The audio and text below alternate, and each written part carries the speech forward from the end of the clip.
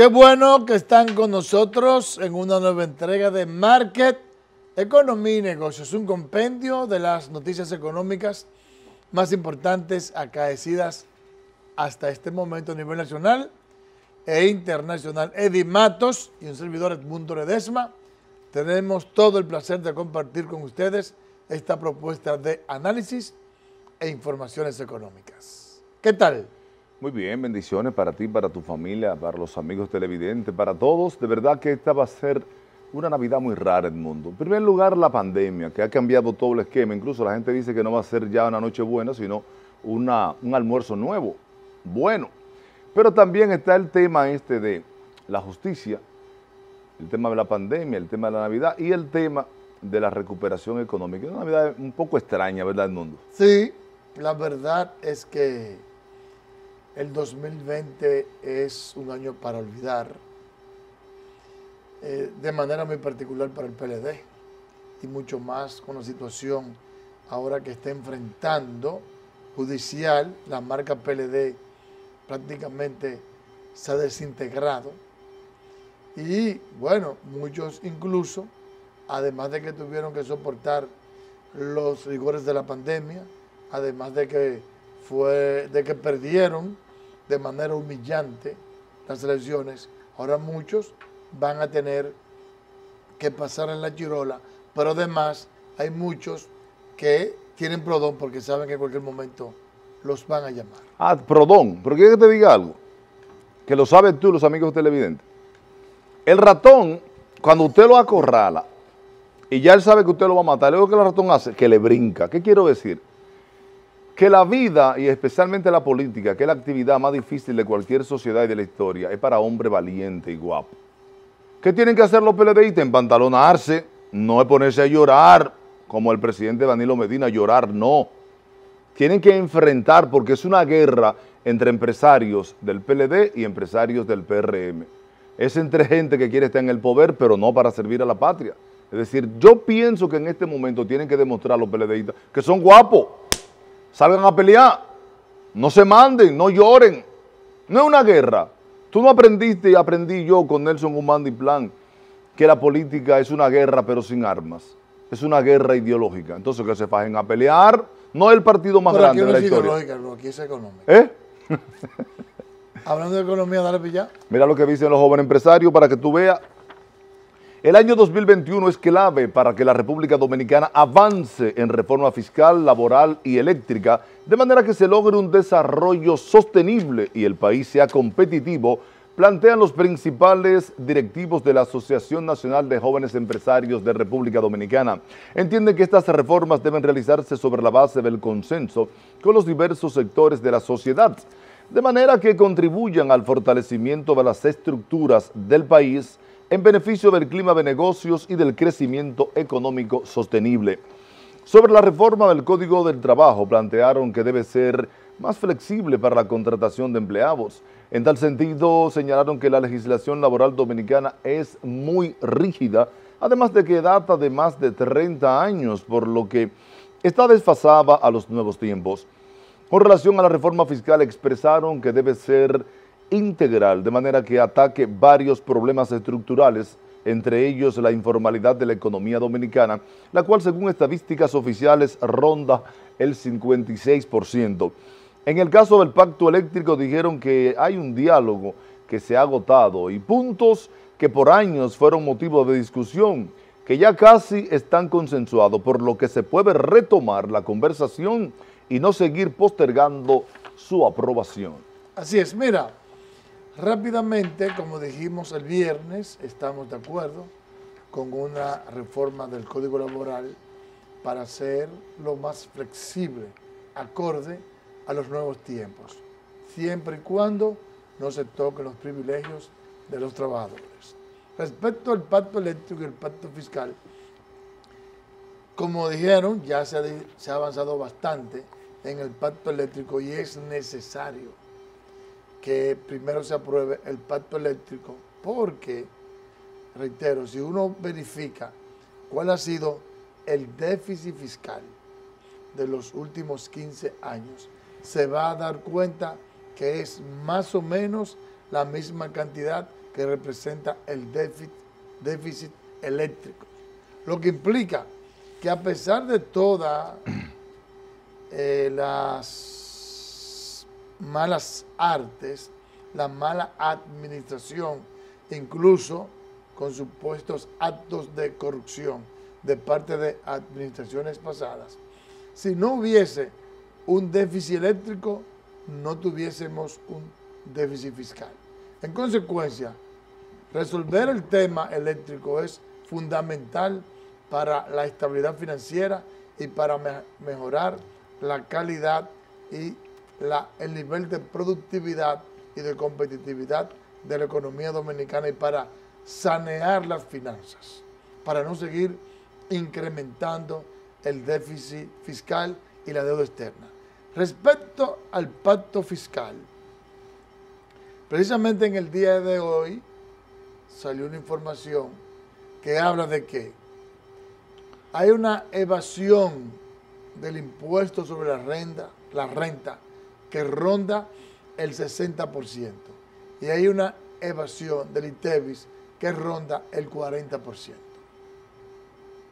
Ya hablamos en este mismo programa de un libro que hizo el economista Ivanhoe N.G. Cortiña, que habla de que la evasión fiscal es algo así como el 100% de la capacidad de recaudación que tiene el Estado Dominicano. ¿Qué quiere decir eso? Que si, por ejemplo, este año la República Dominicana va a recaudar de manera ordinaria, digamos, 500 millones de, de pesos, tiene capacidad para recaudar mil millones de pesos. Se pierden 500 millones de pesos en las manos de los empresarios corruptos, ladrones, porque el que va de impuesto o elude impuestos es un corrupto y un ladrón. Entonces, la reforma fiscal tiene que venir a cerrar esa brecha, a cerrar la brecha, la posibilidad de que se sigan robando el dinero a través de la evasión. Y eso puede incluso hacer, como todo el mundo tendrá que pagar el impuesto, que se pueda disminuir la tasa, eh, eh, la tasa impositiva y aún así aumentar la presión fiscal porque todo el mundo está pagando. Entonces, conjurar el tema eléctrico y eliminar la evasión fiscal son fundamentales para que las finanzas públicas sean sostenibles en el tiempo. Mira, estuve leyendo este fin de semana Economía Profunda y es bueno recordar, Edmundo, con esta información de los jóvenes empresarios, que en realidad todas las sociedades del mundo que han alcanzado el desarrollo económico se debe a las grandes reformas que implementan las sociedades. La República Dominicana, nadie puede negar, ha avanzado mucho en términos económicos y es uno de los países que más ha crecido, pero se debe a eso, a las reformas que ya a lo caso de su vida implementó el presidente Joaquín Balaguer. El presidente Leonel Fernández hizo grandes reformas, incluso el gobierno de Hipólito Mejía, cuando el colapso del año 2003, se hicieron reformas que le sirvieron a Leonel también de plataforma. Es decir, tenemos ya unos cuantos años que no se hacen reformas y esas que están ahí, esos acuerdos eléctrico, el pacto eléctrico, el pacto... Se hizo el pacto de la educación y fíjense que aunque no hemos avanzado mucho en educación, pero ya está el 4% y se han hecho escuelas que no se hicieron en toda la historia. Ojalá que como dicen ellos, que a final de este año 2021 o al principio del año 2022 se puedan hacer las reformas que tanto necesita el país para su consolidación económica y el bienestar, que al final lo que se persigue, como ha dicho Edmundo, del crecimiento económico es el bienestar de la sociedad es la calidad de vida que tiene que aumentar. No es solamente para que unos cuantos amasen fortuna, sino para que toda la colectividad de una sociedad pueda crecer, se pueda sanar y pueda tener un mejor estatus de vida. El presidente Luis Abinader entregó 2.709 títulos definitivos a parceleros de la reforma agraria en la provincia Asua en un acto junto al Instituto Agrario Dominicano y la Comisión Permanente de Titulación de Terrenos del Estado de la Presidencia de la República. Esta es la primera entrega masiva que realiza el gobierno del presidente Luis Abinader y que se extenderá a otras regiones con el objetivo de entregar 200 mil títulos durante su gestión. Hoy ustedes pueden ir a un banco. Hoy ustedes están seguros de que ese título será de ustedes y si ustedes quieren también de su familia. Hoy ustedes saben que no va a venir un gobierno y le va a cambiar y le va a decir, no, este, esto pertenece a otra persona. Hoy ustedes pueden dormir tranquilos. El jefe de Estado destacó que el gobierno ha tomado el proyecto como uno de sus principales porque lleva tranquilidad a todas las familias dominicanas. Asimismo, expresó que nada cambia más la situación económica y social que tener un título de propiedad. En ese mismo tenor, cerca de 500 familias de escasos recursos económicos recibieron este viernes el pasado certificados de títulos definitivos de sus viviendas ubicadas en varios sectores de la provincia de Santo Domingo, evento que estuvo encabezado por el presidente Luis Abinader en el Salón Verde del Palacio Nacional. Al hacer entrega de los títulos de propiedad, el presidente Luis Abinader aseguró que está dando cumplimiento al mandato constitucional de acceso a la vivienda. Las casas que se están titulando hoy son fruto de ese compromiso que todos acordamos en el pacto constitucional. Un compromiso que hoy impacta positivamente a más de 1.900 personas que a partir de este momento disfrutarán de los beneficios que se derivan de la propiedad inmobiliaria titulada, distribuir la riqueza nacional y que sus beneficios lleguen a todos los ciudadanos es una prioridad de esta administración y así lo estamos haciendo. La entrega de los certificados de títulos beneficia a 429 familias del municipio Los Alcarrizos, distribuidas en los sectores Nuevo Horizonte, Pueblo Nuevo, 24 de abril, El Libertador, Lebrón, El Invi, Barriolandia, Obras Públicas, Los Americanos y Chabón. En Los Frailes, 60 familias recibieron también el título de sus viviendas y seis en el sector Los Minas, donde nació Eddie Matos en Santo Domingo Este. Seguimos con el presidente Luis Abinader y es que este entregó 72 apartamentos en beneficio de 340 personas como parte de los trabajos de saneamientos de la cañada Los Platanitos en Santo Domingo Norte. En el acto, el mandatario mandó un mensaje contundente a los funcionarios públicos. Veamos la historia de nuestra compañera Maciel Genao. Más de 300 familias se beneficiaron con 72 apartamentos entregados en la comunidad Los Platanitos de Santo Domingo Este, un acto encabezado por el primer mandatario Luis Abinader, quien aprovechó para advertir a los funcionarios públicos que quien no tenga vocación para servir no merece ocupar un cargo público. El que no tenga pasión para servir no debe de estar en la administración pública. Y ese es el mensaje que cada día le llevamos a nuestros funcionarios y del cual nuestra administración está comprometida. Se trata de un proyecto con un costo que supera los 96 millones de pesos, desarrollado en un terreno de 1.315 metros cuadrados, los cuales fueron donados por el Ayuntamiento de Santo Domingo Norte y beneficiará específicamente a los habitantes de los sectores Los Trinitarios 1 y 2, Altos del Parque y Cerro del Norte. Es el reflejo de que le damos continuidad de Estado a todo lo que está iniciado, no importa por cuál administración, porque a nosotros lo que nos preocupa es que esas obras que ya estaban asignadas y se quedan asignadas Fellito como estuvieron. Las viviendas están conformadas por nueve edificios de dos y tres habitaciones con sala, comedor, cocina y parqueo tienen un diseño fundamental que permitirá a sus ocupantes mantener un ambiente sano y acogedor. De su lado, el director general de la Corporación del Acueducto y Alcantarillado de Santo Domingo, CAS, Felipe Suberví, aseguró que realizará la ampliación del acueducto Barría Salidad con una inversión de 97 millones de dólares que va a ampliar de 4 a 6 metros cúbicos y beneficiará a un millón y medio de ciudadanos en Santo Domingo Este y Santo Domingo Norte. estamos trabajando en el financiamiento que está bien avanzado y entendemos que para el primer trimestre del año que viene estamos eh, aprobando ese, ese financiamiento. También destacó los avances de la casa en los primeros 100 días de gestión, como los trabajos complementarios para la limpieza y acondicionamiento de la Gran Cañada de Jardín Botánico Nacional, donde con la inversión de 58 millones de pesos serán beneficiados 900 personas.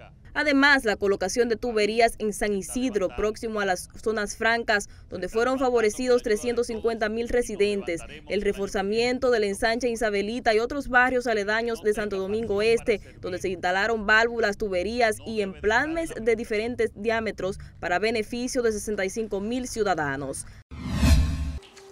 Gracias, Maciel, por ese reporte. El presidente Luis Abinader afirmó hoy que trabaja para crear un clima de negocio en el que el gobierno y el sector privado sean alineados en el desarrollo y la creación de nuevos empleos. El mandatario asistió al acto de inauguración del complejo hotelero Hilton La Romana, ubicado en Ibe.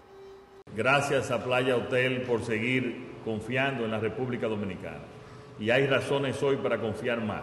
Hoy ustedes tienen un aliado en el gobierno, un aliado donde lo que queremos es desarrollo, más empleo, con mucha transparencia y acelerando todos los procesos para que las inversiones realmente se hagan de manera más rápida, para que haya un clima de negocio transparente, un clima de negocios en los cuales el gobierno y el sector privado sean aliados en el desarrollo y en la creación de nuevos empleos. El presidente Abinader aseguró también que el país cuenta con un protocolo de seguridad que permite garantizar la salud y la vida de nuestros turistas. En una singular ceremonia conjunta y virtual, celebrada entre autoridades de la República Dominicana y la de la República Popular China, el Instituto Nacional de Formación Técnico Profesional Infotec y la Escuela Técnica Profesional Neijing Jingjing suscribieron un acuerdo mediante el cual proyectan la construcción de una comunidad que han denominado la franja y la ruta. Será ejecutada a nivel nacional e internacional, dirigido al personal administrativo, técnico, docente e y estudiantil a través de diversos programas que incluyen los de herramientas tecnológicas, automotriz, arte y diseño, negocios, nutrición, arte culinario y gestión turística, entre otros.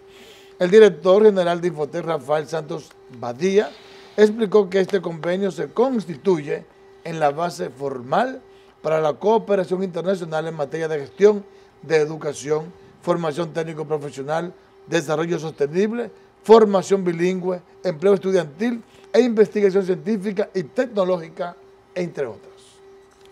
El cuerpo humano deja de crecer a los 25 años, pero el alma y el espíritu humano no dejan de crecer. Vamos a hacer crecer el cerebro humano con el Diccionario Económico con Indiana Ortega. Un activo financiero es un instrumento que otorga a su comprador el derecho de recibir ingresos futuros por parte del vendedor. Al contrario que los activos tangibles, los activos financieros no suelen tener un valor físico. El comprador de un activo fijo o financiero posee un derecho y el vendedor una obligación. Los activos financieros pueden ser emitidos por cualquier unidad económica, dado que se trata de un título, un activo financiero pasa por tres etapas. La primera de ellas es su emisión. La segunda etapa es la negociación de los mercados financieros. Y la tercera etapa, el título desaparece. La Market Economía y Negocios, Indiana Ortega.